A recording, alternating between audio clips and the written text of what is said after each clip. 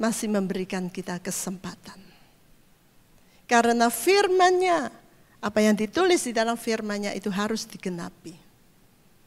Karena itu saudara jangan lewatkan kesempatan yang Tuhan berikan saat ini kepada kita. Dengan tidak berjaga-jaga, tidak waspada, tetapi kita justru harus lebih lagi memacu diri. Saya suka dengan nasihat Rasul Paulus kepada jemaat di Tesalonika di dalam surat 1 Tesalonika bagian yang terakhir. Kita tahu bahwa surat Tesalonika diberikan kepada Rasul Paulus kepada jemaat di Tesalonika ya untuk menjawab banyak-banyak pergumulan mereka, masalah mereka dan sebagainya.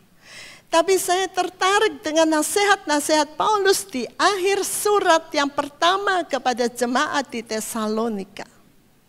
Saya tahu bahwa Paulus menuliskan perkara-perkara yang penting untuk diperhatikan oleh jemaat di Tesalonika. Bagaimana mereka harus berjaga-jaga supaya mereka boleh tetap kedapatan berkenan di hadapan Tuhan. Saudara, Seharusnya kita juga demikian. Kita harus berjaga-jaga. Entah kita dipanggilnya kapan, entah mungkin kita nanti Tuhan izinkan masuk di dalam masa-masa pengangkatan dan sebagainya yang kita masih banyak hal yang kita tidak tahu. Tapi satu hal yang pasti bahwa kita harus berjaga-jaga. Andai kata kita dipanggil pulang ya saat-saat ini, kita juga harus berjaga-jaga, saudara. Supaya kalau bisa, kita bisa ikut di dalam kebangkitan yang pertama. Ya. Saya tidak ngomong lagi tentang hal itu ya saudara, itu kan penjelasan sendiri ya. Mungkin saudara kalau mau tahu, saudara bisa dengarkan rekamannya. Kalau ada, tidak tahu Pak Tegi ada atau enggak ya. Itu tentang wahyu, di mana ada kebangkitan yang pertama, ada kebangkitan yang kedua. Kalau kebangkitan pertama itu kalau kita ikut di dalam kebangkitan pertama, saudara boleh dikatakan kita itu aman. Tapi kalau kita nanti tidak bangkit di kebangkitan yang pertama, itu artinya kita akan masuk ke dalam kebangkitan yang kedua, di mana itu nanti di hadapan tahta besar kita harus mempertanggungjawabkan semua yang kita sudah lakukan dan kita kerjakan. Dan pengadilan Tuhan akan menentukan tempat kita di mana nantinya untuk selama-lamanya. Saudara, saya percaya bahwa Tuhan itu anugerahnya besar. Makanya kalau setiap kali nyanyi lagu bahwa Tuhan itu baik, saya tahu bahwa Tuhan itu baik, baik dan sangat baik kepada kita semua. Dia berikan kita kesempatan-kesempatan emas sebetulnya. Tapi sering kali kita itu tidak tahu, saudara. Dikasih emas malah ngomel-ngomel. Diberi kesempatan-kesempatannya luar biasa malah marah-marah. Ya, saudara. Oke, supaya kita bisa lebih ngerti, mari kita buka satu Tesalonika pasal yang kelima. Mulai ayat yang ke-12. Bagian ini syarat dengan nasihat Paulus. Jadi boleh dikata setiap kalimat punya arti. Tapi tentunya saudara siang hari ini saya tidak mungkin kan membicarakan hal ini semua. Tapi kita akan baca semua sama-sama. Mulai fas ayat yang ke-12. Dan saudara-saudara, kami meminta kamu untuk mengetahui mereka yang berjeri lelah di antara kamu dan yang memimpin kamu di dalam Tuhan dan yang memperingatkan kamu. Dan hargailah mereka setinggi-tingginya di dalam kasih karena pekerjaan mereka. Berdamailah di antara kamu sendiri. Jangan suka bertengkar, jangan suka berselisih, jangan suka uh, berkelahi, ya saudara. Dan kami menasihati kamu saudara-saudara, peringatkanlah mereka yang tidak tertib, Hiburkanlah mereka yang tawar hati, bimbinglah mereka yang lemah, bersabarlah terhadap semuanya. Perhatikanlah supaya jangan ada orang yang membalas kepada yang lain kejahatan ganti kejahatan, tetapi kejarlah selalu yang baik juga di antara seorang terhadap yang lain maupun terhadap semua orang. Bersukacitalah senantiasa, berdoalah tanpa henti-hentinya. Mengucap syukurlah dalam segala hal. Karena inilah kehendak Elohim di dalam Hamasya Yesua bagi kamu. Janganlah memadamkan roh. Janganlah memandang rendah nubuat-nubuat. Ujilah segala sesuatu, pegang eratlah yang baik. Jauhkanlah dirimu dari segala bentuk yang jahat. Mungkin ada nasihat-nasihat yang singkat-singkat saudara. Tetapi kita tahu ada rahasia kemenangan yang luar biasa di dalamnya. Seperti di ayat 10 dikatakan bersukacitalah senantiasa. Berdoalah tanpa henti-hentinya. Itu sepertinya pesan yang begitu singkat tapi kita tahu ada kuasa kemenangan di dalam semua pesan itu. Tapi pagi hari dan siang hari ini saya akan mengajak kita semua melihat satu nasihat yang Paulus katakan di dalam ayat 19 yaitu janganlah memadamkan roh. Janganlah memadamkan roh. Apa yang dimaksud dengan jangan memadamkan roh? Jangan memadamkan roh kudus yang Tuhan berikan kepada kita. Kita baru merayakan perayaan Syafuat, saudara. Kita merayakan hari pencurahan roh kudus. Pemberian Bapak yang luar biasa yang tidak bisa dinilai oleh nilai apa pun juga. Janganlah memadamkan roh. Kita biasanya suka mendengar, jangan menghujat, Roh Kudus. Kita takut banget. Karena apa? Karena Tuhan bilang, barang siapa menghujat Roh Kudus, itu tidak ada ampun bagi dia. Menghujat Roh Kudus dosa yang tidak terampunkan. Apakah sama menghujat Roh Kudus dan memadamkan Roh Kudus? Bagaimana menurut saudara? Apakah sama? Menghujat roh kudus dan memadamkan roh kudus. Dengan kata lain sebetulnya Tuhan mau bilang, kita tuh jangan main-main sama rohnya Bapak. Karena roh kudus itu adalah pribadi Bapak sendiri. Roh Bapak Apa artinya menghujat Roh Kudus? Saudara, kalau kita melihat di kata aslinya menghujat, itu mengandung arti berkata-kata buruk, ya, uh, menghina, melecehkan, mengata-ngatai, mengatakan sesuatu yang buruk tentang Roh Kudus. Dan kita lihat dalam konteks apa Tuhan Yesus pada saat itu mengatakan jangan menghujat roh kudus.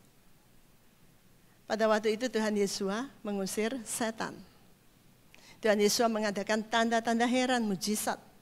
Dan orang Farisi mengatakan apa? Oh, itu mengusir pakai bel sebul.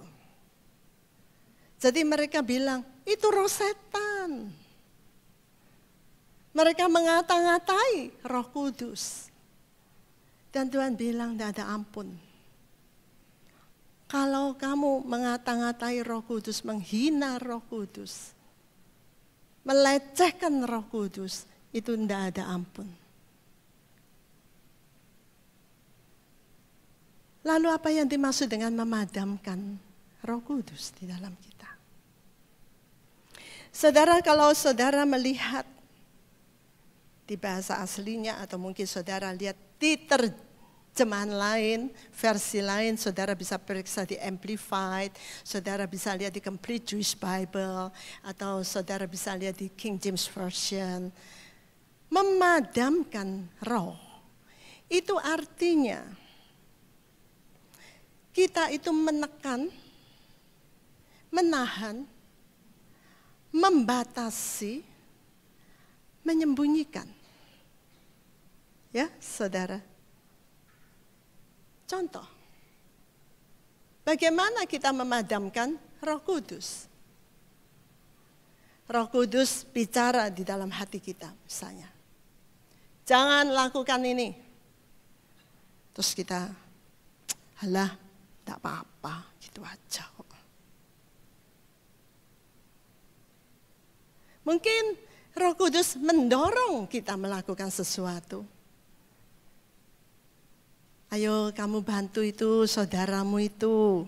Dia ada dalam kebutuhan. Terus kita mungkin mulai bilang, ya aku sendiri lo tidak cukup. Buat apa? Nanti ya adalah yang tolong dia, terus biar aja. Dah, padam lagi suara roh kudus. Mungkin roh kudus mengingatkan pada kita Eh, kamu harus bertobat untuk satu masalah ini. Kita mulai bilang, wah enak kok. Enggak lah, ini bukan suara roh kudus. Ini mungkin hanya suara hati saja. Dan kita mulai bilang, enggak. Tuhan mungkin memberikan kita anugerah. Di saat kita minta kepenuhan roh kudus. Dan Tuhan memenuhi kita. Memberikan kita bahasa baru. Mungkin yang sering kali kita bilang bahasa lidah. Dan kemudian kita mulai menganalisa dengan pikiran kita. Apa kok cuma gini? Dan kita mulai tidak mau. Di saat berdoa, mungkin roh kudus mendorong, ayo berdoa. Pakai itu, apa yang sudah Bapak berikan kepada kamu. Alah, doa apa sih ini? Aku lu nggak ngerti. Nah, kita nggak mau. Padam lagi roh kudus. Mungkin di saat puji-pujian, Tuhan menggerakkan kita. Ayo, berdiri kamu. Angkat tanganmu. Ini saatnya memuji Tuhan dengan segenap hati, segenap kekuatan. Kita bilang, tuh, malu aku. Sebelah-sebelahku lo tidak berdiri. Padam lagi. Berapa banyak, berapa sering kita memadamkan roh kudus dalam hidup kita. Mungkin Tuhan mau memakai kita untuk karunia-karunia. Ayo sampaikan. Tuhan memberikan kata-kata nubuatan untuk disampaikan. Kita mulai berargumen. Iya nek betul, nek enggak. Terus nggak mau aku. Nah, kita tidak sampaikan, saudara. Saya tahu saudara, Memang untuk memberikan kebebasan kepada roh kudus untuk bekerja itu tidak mudah. Tapi kalau kita selalu, selalu memadamkan roh kudus yang mau bekerja dalam hati kita, di dalam hidup kita. Lama-lama roh kudus juga akan padam. Roh kudus sudah tidak akan ngomong lagi sama kita. Roh kudus tidak mengingatkan kita lagi. Roh Kudus tidak bekerja lagi di dalam hidup kita. Dan saudara kita akan mengalami kerugian yang besar. Kerugian yang luar biasa. Kalau kita punya kebiasaan untuk memadamkan roh kudus.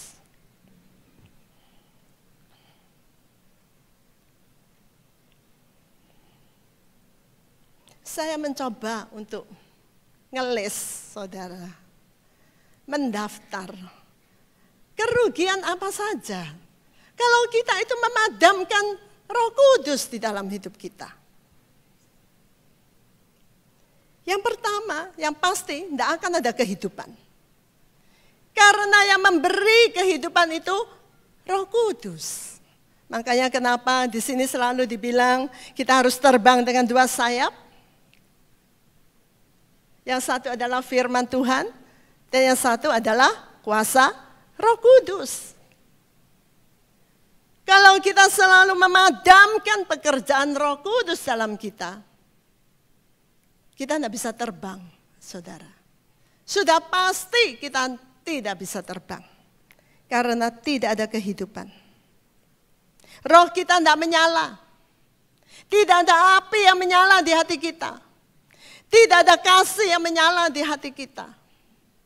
Karena kita selalu memadamkan roh kudus yang ada di dalam kita.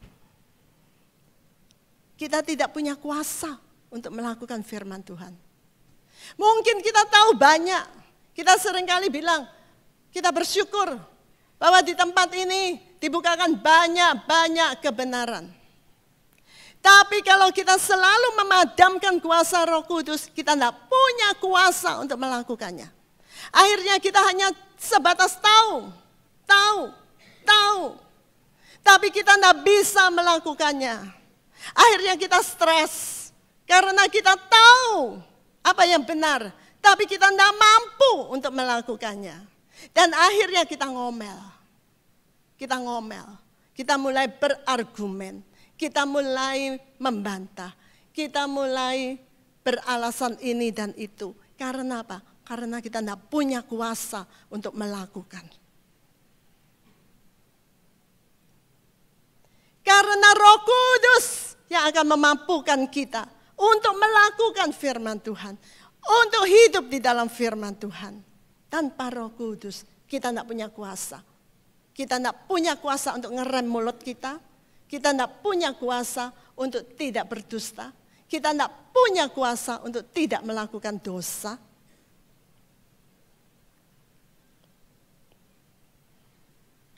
Kita tidak punya kuasa untuk melakukan perintah Tuhan yang utama. Yaitu kita tidak bisa mengasihi Tuhan dengan segenap hati kita, dengan segenap hidup kita, dengan segenap kekuatan kita. Saudara, meskipun mungkin kita nyanyi Sma Israel setiap minggu. Tapi kita tidak bebaskan roh kudus untuk bekerja, menuntun dan memimpin kehidupan kita kita tidak punya kuasa. Itu semua cuma seperti bahasa klise yang kita tahu bahwa kita harus mengasihi Tuhan. Tapi kita tidak mampu. Karena memang daging tidak pernah mampu untuk mengasihi. Karena daging selalu mampunya hanya mengasihi diri sendiri. Tapi mengasihi Tuhan, mengasihi sesama, itu adalah pekerjaan roh kudus. Kita tidak mampu mengasihi orang lain. Kita tidak mampu mengampuni kesalahan mereka. Kita tidak mampu memaafkan kesalahan mereka. Karena nggak ada kasih, saudara. Tidak ada roh kudus, tidak ada buah-buah roh dalam hidup kita. Tidak ada buah roh, sorry. Tidak ada buah roh dalam hidup kita. Kita ingin sukacita di tengah-tengah situasi yang menekan. Kita ingin bersukaria. Kita ingin punya sukacita. Tapi kita nggak punya sukacita. Kita berusaha mungkin. Sukacita yang dari Tuhan, saudara, nggak bisa didapatkan dari mana-mana. Nggak bisa didapatkan dari uang yang banyak.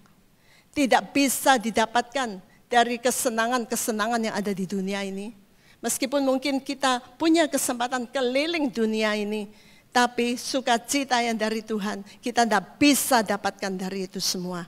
Kita tidak bisa dapatkan dari kita beli semua yang ada di dunia ini. Karena sukacita yang dari Tuhan itu tidak bisa dibeli dengan uang. Tapi sukacita yang dari Tuhan itu akan muncul karena roh kudus yang bekerja di dalam hidup kita. Kita tidak punya damai sejahtera. Tanpa roh kudus, kita tidak ada damai sejahtera. Kita akan ketakutan, kita akan khawatir. Berita-berita yang menakutkan akan menekan kita, akan mencekam kita. Kita nggak bisa menang mengatasi ketakutan, kekhawatiran. Belum bom, belum sakit penyakit, belum uh, ekonomi, masalah-masalah ekonomi, belum masalah keluarga dan sebagainya, sebagainya. Yang semuanya itu bisa menyerap habis sukacita dan damai sejahtera kita. Kalau tidak ada roh kudus dalam hidup kita. Kalau kita suka memadamkan roh kudus. Roh kudus tidak bekerja. Jangan heran saudara. Kalau kita senantiasa merasa tertekan, tidak menang, takut, khawatir, cemas, semuanya menghantui kehidupan kita.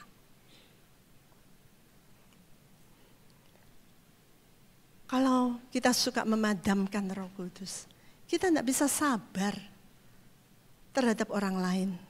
Kita tidak bisa murah hati. Kita tidak bisa adil di dalam mengambil sikap menentukan keputusan-keputusan kita tidak bisa punya hikmat yang benar.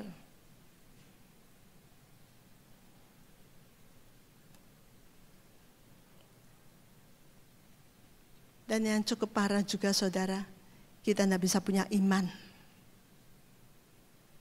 Kita tidak bisa punya iman. Padahal iman ini sangat dibutuhkan di akhir zaman. Kalau roh kudus padam di dalam hidup kita. Tidak ada yang menghidupkan firman Tuhan. Yang menjadikan firman Tuhan ini menjadi rema. Dan menimbulkan iman di dalam hidup kita. Mungkin kita hanya baca firman Tuhan. Hanya seperti huruf-huruf yang mati. Ini tidak bisa menjadi rema. Yang bisa mengubah hidup kita yang bisa berbicara, yang bisa menimbulkan iman di dalam hidup kita. Dan tanpa iman, saudara, kita akan senantiasa kalah di dunia ini. Karena firman Tuhan mengatakan, iman itu yang mengalahkan dunia. Kalau kita tidak punya iman, kita yang akan kalah, kalah dan senantiasa mengalami kekalahan. Kita tidak bisa mengucap syukur, tidak mungkin saudara. Ya. Kita tidak bisa mengalahkan kesombongan kita. Kita akan tetap gampang tersinggung.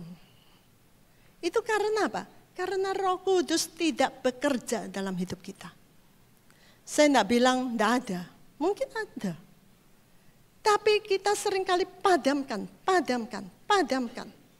Akhirnya roh kudus tidak bekerja dalam hidup kita.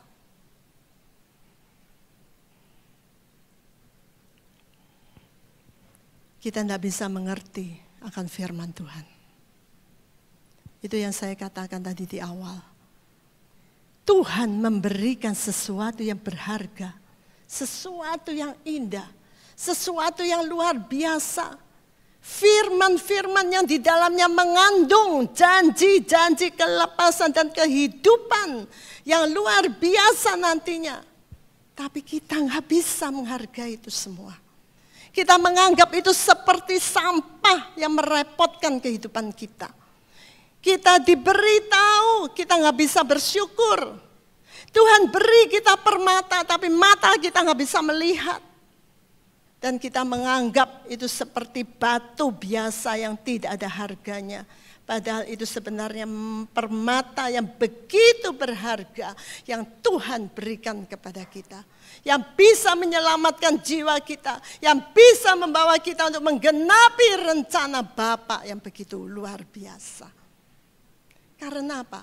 Karena roh kudus tidak bekerja dalam hidup tidak bisa bertobat.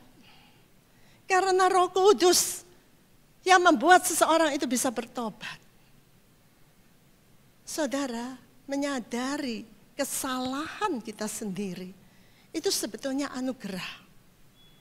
Bagi saya, kalau saya bisa menyadari saya ini siapa, kesalahannya saya perbuat itu apa, saya tahu bahwa itu adalah anugerah. Supaya apa? Supaya itu bisa dibereskan di hadapan Tuhan. Supaya itu bisa dibuang. Tapi berapa banyak orang yang bisa sadar akan kesalahannya? Ada orang-orang yang terang-terangan melawan firman Tuhan, melakukan dosa. Tetapi nggak bisa sadar, tetap merasa baik-baik saja semua. Saudara saya perhatikan rata-rata manusia seperti itu.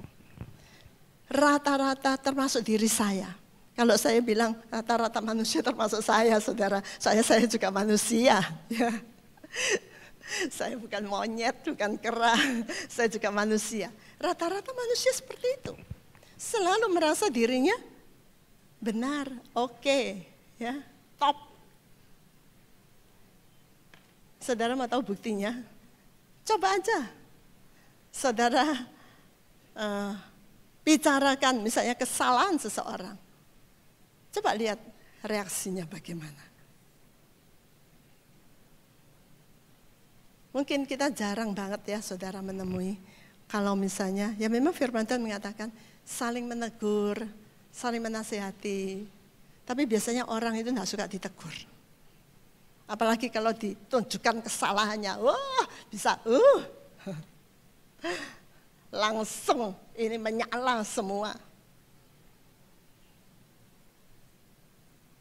Tidak bisa saudara diberitahu semakin nyalanya semakin besar.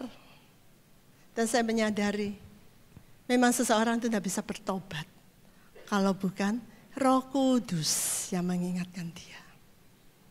Makanya kenapa dikatakan bahwa roh kudus yang akan menempelak tentang dosa, yang akan menyadarkan orang tentang dosa. Itu adalah pekerjaan roh kudus. Kalau roh kudus tidak bekerja, seseorang gak bisa, saudara. Sadar akan kesalahannya. Itu tidak mungkin. Tanpa roh kudus tidak bisa bertobat. Tanpa roh kudus tidak bisa melawan setan. Tidak mungkin. Karena kita manusia, kita sebenarnya kita tidak punya kuasa. Kuasa untuk melawan setan. Kuasa untuk menaklukkan setan. Kuasa untuk menginjak ular dan kala jengking. Itu semua adalah kuasa roh kudus. Kuasa untuk mengalahkan dosa. Kadang kita mungkin tahu saudara. Kita tahu ya aku salah. Tapi melakukan lagi. Melakukan lagi. Kalau kita tidak memberikan kebebasan kepada roh kudus untuk bekerja. Kita tidak punya kuasa untuk melakukan, untuk mengalahkan dosa. Kita tidak bisa mengalami mujizat-mujizat, tanda-tanda heran, kuasa Tuhan. Kita tidak bisa mengalaminya dalam hidup kita. Kalau kita suka memadamkan roh kudus. Kita tidak bisa menginjil. Kita tidak bisa memenangkan jiwa. Karena itu semua itu pekerjaan roh kudus gereja yang tidak meluaskan pekerjaan Roh Kudus, lihat saja penginjilannya akan mati. Penginjilannya tidak akan jalan. Karena kuasa Roh Kudus yang dibatasi tidak bisa bekerja dengan bebas. Tidak bisa memenangkan jiwa. Tidak bisa bersatu karena tidak ada kasih Tuhan yang kuat yang bekerja di dalamnya. Karena tanpa kasih, saudara, kita itu cuma akan lihat kesalahan, kelemahan, kekurangan orang lain. Karena apa? Karena kasih itu yang menutup banyak dosa. Kalau Roh Kudus tidak bekerja, kasih tidak memenuhi kehidupan umat Tuhan Pasti yang dilihat itu hanya kekurangannya, kekurangannya, kelemahannya, kesalahan. Itu saja yang terpampang terus di depan kita. Dan akhirnya kita hanya saling mengolok, saling merendahkan, dan itu akan semakin mematikan pekerjaan Roh Kudus di dalam gereja Tuhan. Dengan kata lain, gereja akan mengalami kematian. Seperti yang dikatakan oleh Tuhan Yesus di dalam Yohanes pasal 15 ayat yang kelima. Tuhan mengatakan, tinggallah di dalam aku dan aku di dalam kamu. Karena tanpa aku, kamu tidak bisa melakukan apa-apa. Tidak ada satu hal pun yang bisa kamu lakukan tanpa Roh Kudus. Apa artinya Tuhan Yesus tinggal di dalam kita, saudara? Apa yang tinggal di dalam kita? Siapa yang tinggal dalam kita? Bukankah itu Roh Kudus? Yaitu Roh Bapak sendiri. Dan Tuhan Yesus berkata, "Aku dan Bapa adalah satu."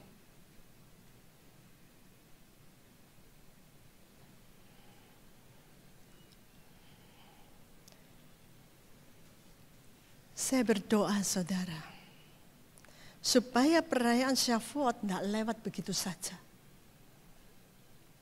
Tapi kita boleh sungguh-sungguh menyadari betapa pentingnya pribadi roh kudus yang sudah Tuhan berikan kepada kita semua.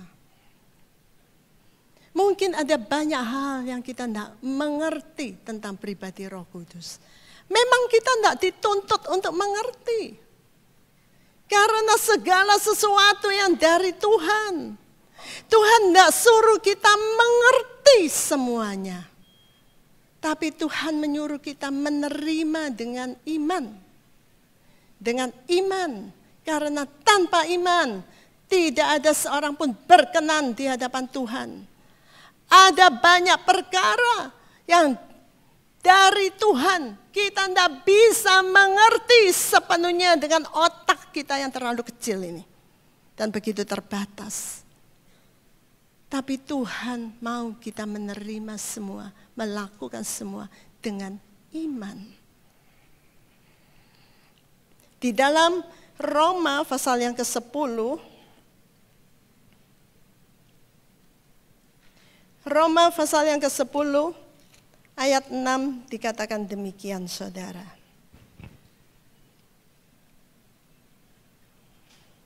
Mulai ayat 5 ya. Sebab Musa menuliskan kebenaran atas dasar Taurat. Orang yang melakukannya akan hidup olehnya. Namun kebenaran atas dasar iman berkata demikian. Janganlah berkata di dalam hatimu, siapakah yang akan naik ke surga, yaitu untuk membawa Kristus turun. Atau siapakah yang akan turun ke dalam abisos, yaitu untuk membawa Kristus naik dari antara yang mati? Sebaliknya apa yang dia katakan, firman itu berada di dekatmu, di dalam mulutmu, dan di dalam hatimu. Inilah firman iman yang kami beritakan. Apa yang mau dikatakan bagian ini saudara? Kalau kita berkata tentang iman, iman itu tidak selalu berargumentasi. Paulus mengatakan, kalau kamu mengatakan sesuatu berdasarkan iman, kamu tidak akan bilang, ya, tidak akan bilang siapa yang akan naik ke surga bawa Kristus turun. Siapa yang akan turun ke abisos dan bawa Kristus naik. Bukankah kita itu sering kali punya banyak argumentasi tentang Tuhan dan kita tidak bisa menerima begitu saja. Saudara, kalau kita bicara tentang iman, Iman itu sebenarnya sangat sederhana. Mengapa Tuhan memberikan contoh iman itu seperti biji sesawi yang begitu sederhana sebetulnya. Iman itu pokoknya kita ngomong ya sama firman Tuhan. Sudah, itu namanya iman.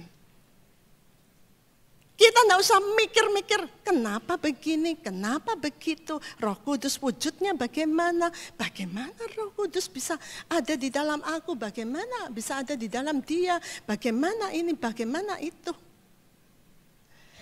Saudara firman Tuhan mengatakan kalau ngomong tentang iman,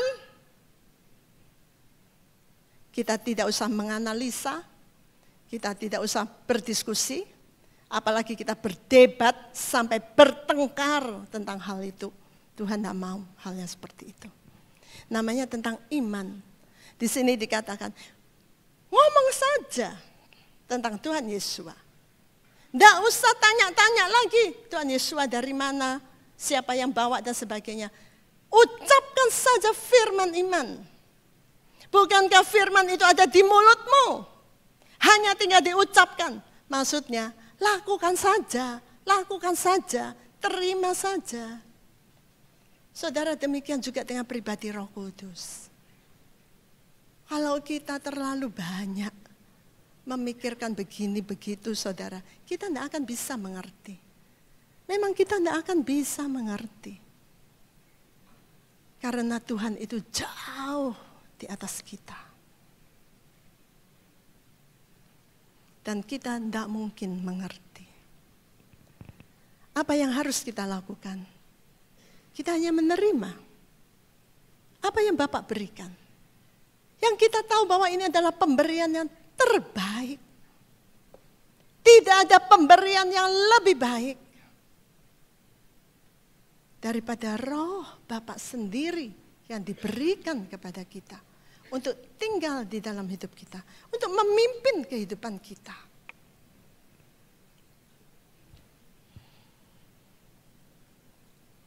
Segala sesuatu yang Bapak sediakan, seharusnya kita terima dengan iman. Tanpa banyak berdebat dan mempermasalahkan. Dan kita akan mengalami kuasanya yang luar biasa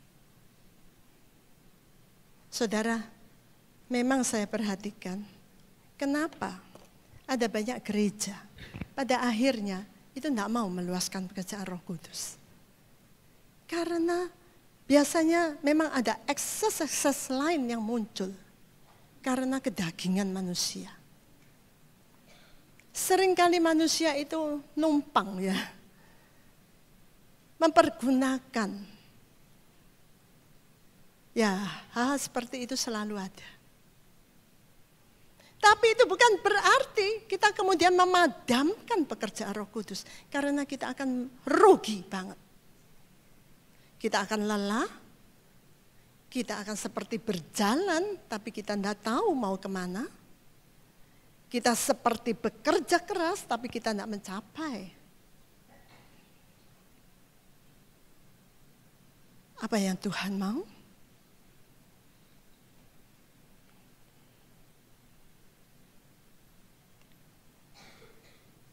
Saudara kita harus ingat untuk uh, menghindari ekses-ekses yang terjadi. Kita satu hal yang kita harus ingat, Roh Kudus itu selalu tertib. Bekerjanya itu tertib, saudara. Jadi tidak seperti misalnya seseorang lagi menyampaikan firman Tuhan di mimbar. Eh, tahu-tahu ada seseorang luar dari dari luar mungkin dari mana saya nggak tahu. Tahu-tahu di sini terus langsung ngomong, aku berkata, Tuhan berkata begini begini. Ah, saudara, itu sih bukan Roh Kudus. Roh Kudus tidak seperti itu. Roh Kudus itu tertib banget, sangat tertib. Roh Kudus itu tidak sembarangan, saudara. Bekerjanya itu tidak sembarangan tapi semua akan berjalan dengan teratur dan baik kalau Roh Kudus memimpin. Karena itu siang hari ini saudara, saya ingin mengajak kita semua. Mungkin sudah bukan waktunya lagi. Kita tuh hanya tahu teori aja. Kita tahu banyak. Tapi kita tidak bisa melakukannya dalam hidup kita. Mari, siang hari ini kita mau berdoa. Dan kita mau minta supaya roh kudus itu bebas bekerja dalam hidup kita. Supaya selama ini mungkin ada di antara kita memadamkan pekerjaan roh kudus. Tapi biar saat ini kita mau izinkan kembali roh kudus bekerja. Roh kudus bekerjalah di dalam hidupku. Saya percaya kalau setiap kita itu sungguh-sungguh dipimpin oleh Roh Kudus. Setiap yang memimpin di depan, semua pemain musik, semua WL, semua singer, semua jemaat, semua hamba-hambanya, itu sungguh-sungguh ada di dalam pimpinan Roh Kudus. Rohnya tidak padam, Roh Kudus terus menyala-nyala di dalam hidupnya. Saudara, saya percaya kita akan menjadi luar biasa di dalam Tuhan. Kita sering dengar bahwa Roh Kudus itu roh yang excellent. Kita tidak bisa excellent di dalam Tuhan. Kalau kita senantiasa padamkan, padamkan dan padamkan Roh Kudus.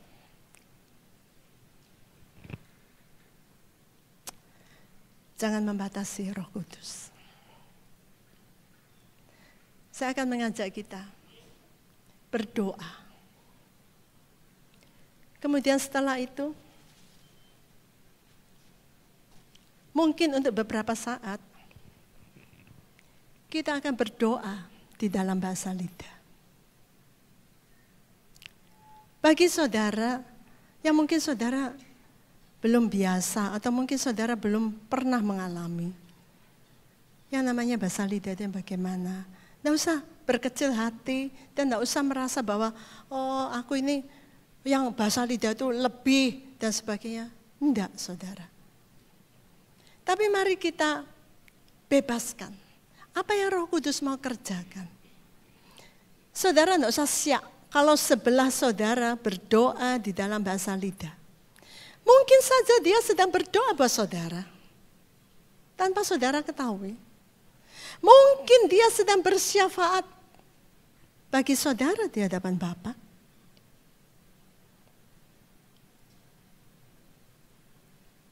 Karena di saat kita berbahasa lidah, kita berbicara secara rahasia kepada Tuhan. Ada banyak rahasia-rahasia yang kita tidak tahu saudara. Kadang-kadang di dalam satu masalah, mungkin kita hanya melihat apa yang bisa kita lihat. Tapi kita tidak tahu akar permasalahannya sesungguhnya. Mungkin kalau kita melihat ada saudara kita yang undur, kita cuma bilang, oh dia sedang tahu ke gereja. Paling ya mungkin dia males ke gereja. Apakah kita tahu apa yang sedang dia alami? Karena itu kita perlu hikmat Tuhan. Amin. Amin. Saudara mau kembali membuka roh saudara untuk Tuhan. Izinkan roh kudus bekerja. Izinkan roh kudus bekerja. Demikian juga di saat memuji dan menyembah Tuhan. Kalau saudara izinkan roh kudus bekerja, dan saudara bergerak dan mengalir di dalam aliran Roh Kudus, pasti akan mengalami kelepasan, kebebasan, kemerdekaan, sukacita yang melampaui segala akal, damai sejahtera yang melampaui segala akal. Itu namanya kemenangan demi kemenangan yang Tuhan berikan. Tapi kalau kita selalu padamkan, padamkan, padamkan, saudara kita tidak mungkin bisa menang